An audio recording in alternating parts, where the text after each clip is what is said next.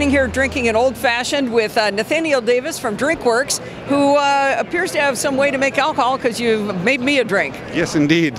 Yeah, this is the um, DrinkWorks Home Bar by Keurig. So DrinkWorks is a joint venture between Keurig Dr. Pepper and Anheuser-Busch. So think about it as the intersection between appliances and technology and the alcohol beverage space. I'm a fan of both, so that works out. As am I. It's uh, it's it's a pleasure to do this uh, every day, and we've had a great CES. So basically, you know the Keurig model: one pod, one button, one drink. We've just applied that to cocktails. So think about this as cocktails by Keurig.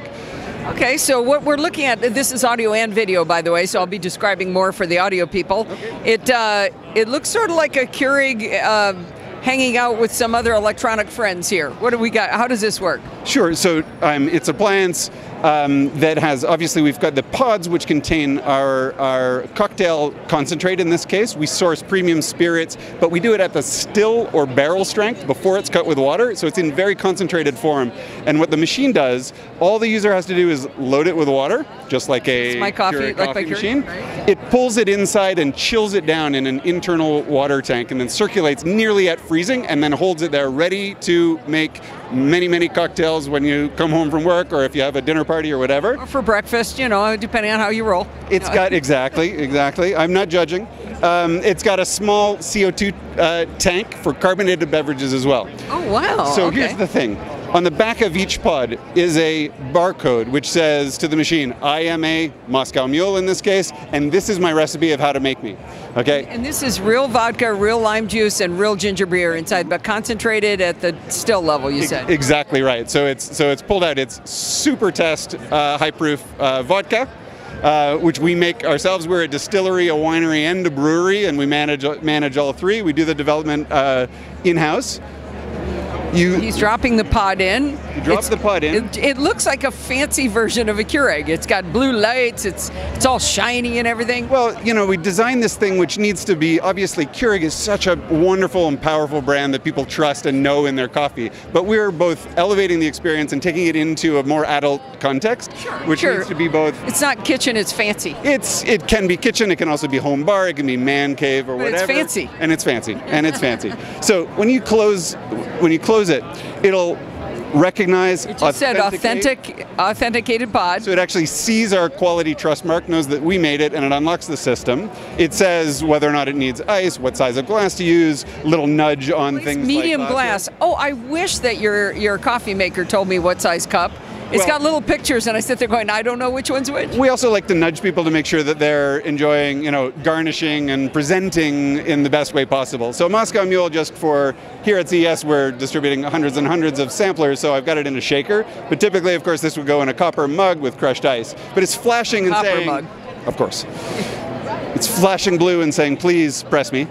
So we'll go ahead and hit the button. What's happening now is it's pulling the chilled water into its blast carbonation chamber inside. We'll actually hear it. It's quite noisy here, and you won't quite hear it uh, hitting it with high pressure CO2 to carbonate I'll the water. the microphone. There it goes, and it's about to. The, the, the idea is to give you a bar. So as you would get. Ooh, that's satisfying. That's right. The, the satisfying whoosh so now it's of pouring the drink. And now it cracks the pod. Got to get all the audio in here. Of course.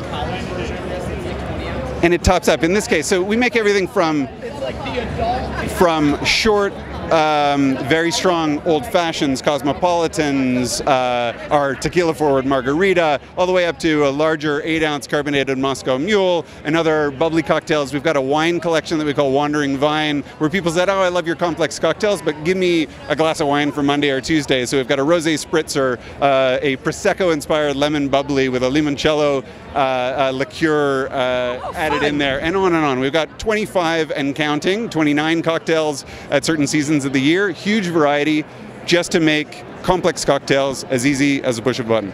So I'm noticing, so this is a, uh, a, long cylindrical tube and it says it's got four liquid pods, so that makes me four drinks out of each of these? That's right.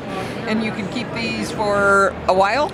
Yeah, these are the, the they're good for between nine and, and 12 months, but they shouldn't last that long in anybody's uh, kitchen normally. But really, what people are saying is it's the freshness of preparing it on demand and seeing it being made right in front of your eyes that really gives you the impact of uh, uh, that people are looking for when they're hosting.